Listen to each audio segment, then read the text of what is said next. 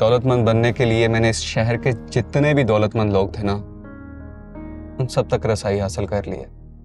और एक दौलतमंद औरत से खुफिया निकाह भी कर लिया। क्या निकाह? लेकिन किससे? इस लबोलजे में बात नहीं हो सकती।